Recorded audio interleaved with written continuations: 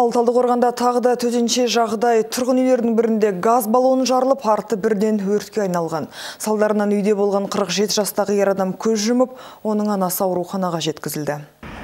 Апат болған үйдің туыстарының айтуынша көз жұмған ағасы екінші топтағы мүгедек. Газ плитасының жанында тұрып кенеттен ауру ұстап қалу мүмкін деп топшылайды. Ал мамандар арнайы комиссия құрып зерттеу жұмыстарын бастап кетті. беті мойны қолдары күйік шалған және жоғарғы тыныс алу жолдары күйік шалуына байланысты жағдайы ауыр. Сол себепті реанимация бөлімінде жатыр. Емдік шаралардың барлығы толық жасалып жатыр.